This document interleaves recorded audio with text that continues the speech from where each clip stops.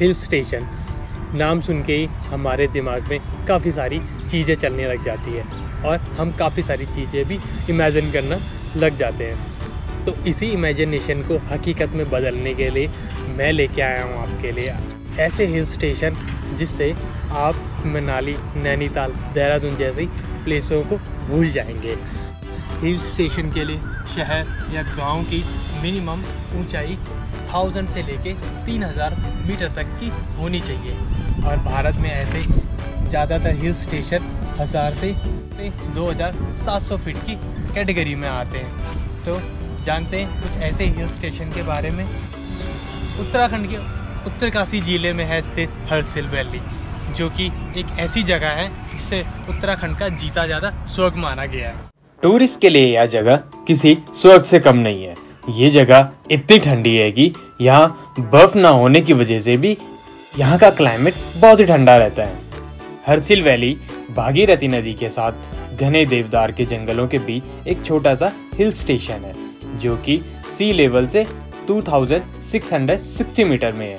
हरसिल गाँव गंगोत्री के पास बसा हुआ है, जो कि चार तीर्थ स्थलों में से एक है। हरसिल वैली की सुंदरता चारों तरफ़ घास के मैदान बहती भागीरथी नदी, ऊँचे पहाड़ के साथ स्नो कवर्ड हिमालय पी और यहाँ के वाटरफॉल और देवदार के ऊँचे पेड़, सच में ये जगह किसी जन्नत से कम नहीं है और ये जगह आपको यहाँ से घर नहीं जाने देगी। सच कहूँ तो उत्तराखंड में स्वर्ग जैसी ये जगह पूरे उत्तराखंड के लोगों के लिए ही नहीं, बल्कि उन सभी लोगों के लिए गर्व की बात है जो अपना समय यहाँ नेचर के साथ बिताना पसंद करते हैं। हरसिल नाम के पीछे एक कहानी है। जरा ध्यान से सुनिएगा। कहते हैं इस जगह भगवान विष्णु ने हरि का रूप लिया था और भागीरथी और जलधरी नदी के तेज प्रभाव को कम करने के लिए भगवान विष्णु ने यहाँ पर पत्थर का रूप लिया था और इन नदियों के तेज प्रभाव को कम किया था। पहले इसका नाम हरिशिला हुआ करता था। लेकिन बाद में फ्रेडिक विल्सन ने इसका नाम हर्सिल रख दिया। और हर्सिल एक घाटी थी तो इसलिए इसको वैली कहा जाने लगा। 1857 में इसका नाम हर्सिल वैली रख दिया गया। हर्सिल वैली में आप बर्ड वॉचिंग और ट्रैकिंग के साथ साथ कई और खूबसूरत जगहों पर भी घूम सकते हैं। हर्सिल विज़िट करना आप अपने जीवन भर के लिए एक यादगार पल बना सकते हैं।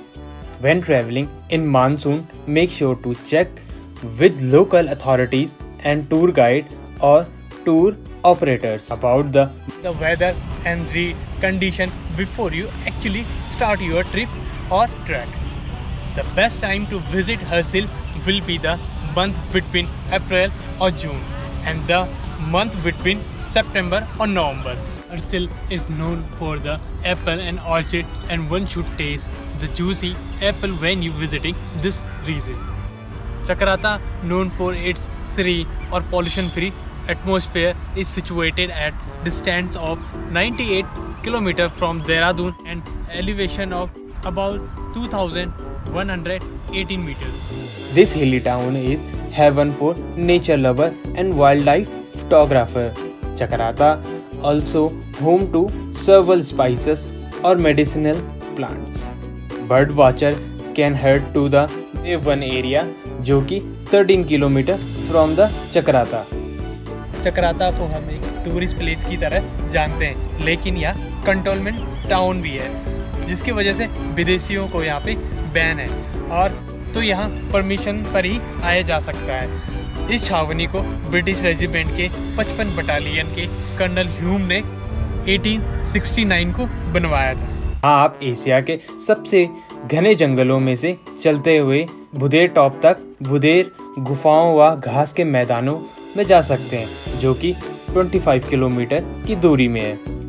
वहीं दूसरी तरफ़ चिलमेरी पॉइंट में जाकर सनसेट को देख सकते हैं, जो कि मार्केट से ओनली पाँच किलोमीटर की दूरी में है। इसके अलावा रामताल गार्डन, जो कि 30 मीटर लंबा और 20 मीटर चौड़ा एक गार्डन है। यहाँ किमोना फॉल, चक्राता की एक अंधे की खूबसूरती है। यहाँ पर बहुत ही कम टूरिस्ट पहुँच पाते हैं और यहाँ के घने पेड़ों से घिरा एक सुंदर पिकनिक स्पॉट भी है।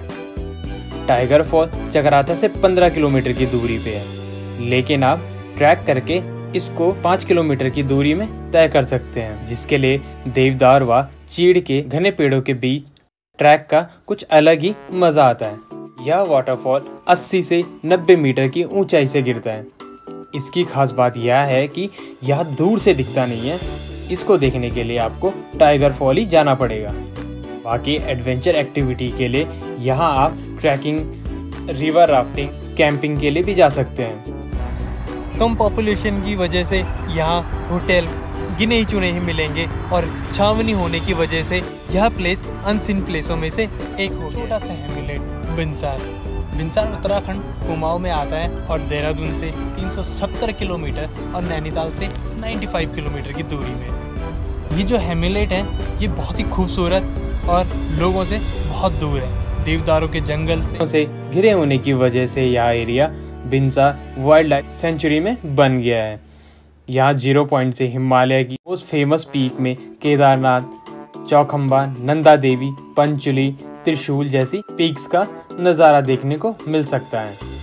अगर आपका बिंसार हिल स्टेशन यात्रा पर रहते हैं तो यहाँ आप Binsar wildlife sanctuary Bineshwar temple zero point Golu Devta temple और जलना और भी कई जगहों पे विज़िट कर सकते हैं। यहाँ की वाइल्ड लाइफ सेंचुरी में बर्ड्स की 200 से अधिक की प्रजातियाँ आपको यहाँ पे देखने को मिल जाती है। जिसमें उत्तराखंड स्टेट बर्ड काफ़ी मशहूर है, जो कि अब कम ही देखने को मिलता है। वैसे तो पहाड़ हर मौसम में देखने लायक रहता है।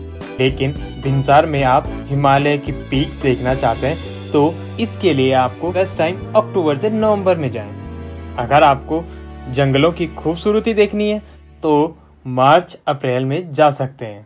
नेचर के सुंदर नज़ारे हो या पवित्र धार्मिक स्थल, देवभूमि, उत्तराखंड, हर तरह की खूबसूरती से भरी पड़ी है।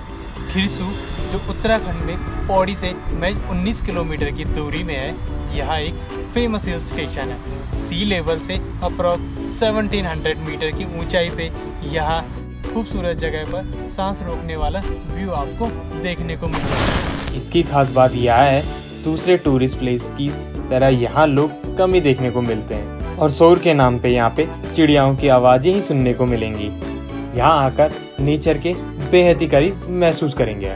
यहाँ प्लेस ऊँची पहाड़ियाँ और घने जंगलों से घिरा होने की वजह से यहाँ का एटमोसफेयर ठंडा रहता है। यहाँ के जंगलों में आपको बांझ देवदार चीड़ बुरास के पेड़ों के साथ साथ ठंडे शांत और पॉल्यूशन फ्री एटमॉस्फेयर मिलेगा। खिरसू असल में एक गाँव है जिसे उत्तराखंड राज्य बनने के बाद टूरिस्ट प्लेस का दर्जा मिला। अगर आप पौड़ी गढ़वाल आते हैं तो खिरसू हिल स्टेशन जाना ना भूलें। हालाँकि यहाँ भी ठहरने का कम ही ऑप्शन मिलेंगे। लेकिन यहाँ टूरिस्ट गेस्ट हाउस और फॉरेस्ट गेस्ट हाउस में आप रह सकते हैं। बाकी आप यहाँ बाई रोड ही पहुँच सकते हैं। यह रोड उत्तराखंड के कई शहरों से जुड़ी हुई है। खिरसू से देवप्रयाग 60 किलोमीटर और एंड 135 किलोमीटर ऋषिकेश है। खिरसू से नियरेस्ट रेलवे स्टेशन 115 किलोमीटर दूर कोटद्वार में है। चकोरी, इस लिस्ट में पाँचवें नंबर पे हमारा है चकोरी। हिमालय में बसा चकोरी। उन खास स्थानों में गिना जाता है, जहाँ नेचर लवर अपनी इमेजिनेशन को हकीकत में बदल सकते हैं। बड़े हिमालय की अद्भुत पहाड़ियाँ और यहाँ पे फ्लोरा से घिरा कुमाऊँ का यह हिल स्टेशन उत्तराखंड के चुनिंदा, सबसे शानदार हिल स्टेशनों में से एक है। यहाँ आने वाले टूरिस्ट को नंदा देवी नंदा कोट और पंचकुला पहाड़ियों की व्यूज़ आपको यहाँ देखने को मिल जाते हैं। चकोरी अपने काम जियोग्राफी के लिए टूरिस्ट के बीच में काफ़ी फ़ेमस है। और यह बेहद ही शानदार टूरिस्ट स्पॉट है। Best time to visit Chaukori is April to June के यह समय सबसे बेस्ट माना जाता है। मानसून में हैवी रेन की वजह से यहाँ लैंडस्लाइड का रिस्क रहता है। तो यहाँ आप जाने से पहले मौसम का पूरा जायज़ा ज़रूर लें। जैसे कि चकोरी एक शानदार हिल स्टेशन है तो आप यहाँ नेचर वॉक भी कर सकते हैं, जो कि हिमालय की पहाड़ियों में हरे भरे जंगलों से घिरा हुआ है। फोटोग्राफी के लिए यह प्लेस आइडल माना जाता है। फोटोग्राफर के लिए नंदा देवी, नंदा कोट चौखम्बा और पंचकुला पीक को कैमरे में उतारने का सबसे बेस्ट लोकेशन है। इसी के साथ अगर आप उत्तराखंड और पहाड़ी संस्कृति परंपरा को समझना चाहते हैं, या करीब से देखना चाहते हैं, या महसूस करना चाहते हैं, यहाँ के आसपास के गाँव के इलाकों में ज़रूर जाएँ।